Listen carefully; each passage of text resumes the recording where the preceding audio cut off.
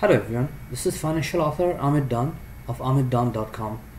On this channel, you'll find financial, travel, and more videos just like the one you're watching right now.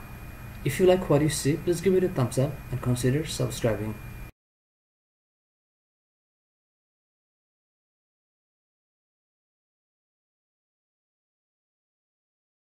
Hello everyone, this is financial author Ahmed Dawn of AhmedDawn.com.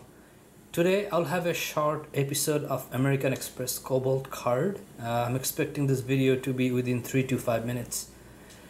I just found out today that uh, American Express is launching a new card called American Express Cobalt card which is uh, right here.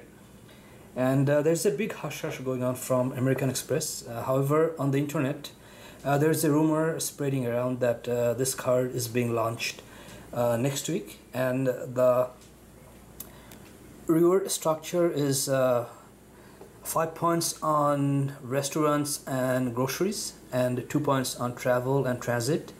And i'm not sure about what what how many points on entertainment but uh, all these are rumors. So this is what i heard. Uh, five points here and two points here.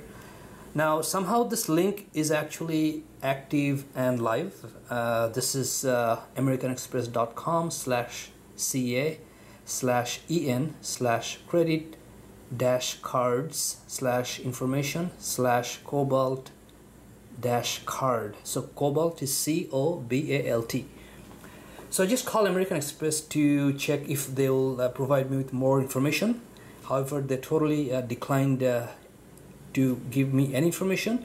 All they confirmed is that yes there's going to be this card launched and uh, they mentioned that uh, it's coming out very soon but they wouldn't give me any information for example when this is going to be launched or what is the reverse structure or what are the features.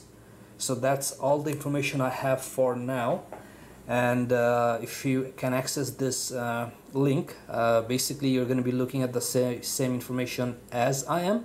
So this is called American Express Cobalt card.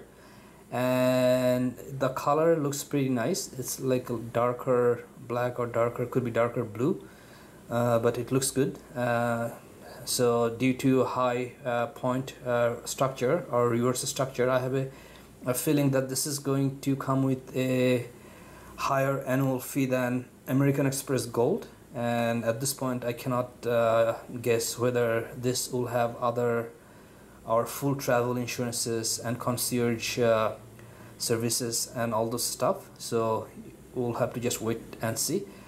So I'll keep you updated on this. Uh, that's all information I have for now. Uh, thank you for watching. If you like what you see please give it a thumbs up and consider subscribing. And uh, there will be more videos coming up. Thank you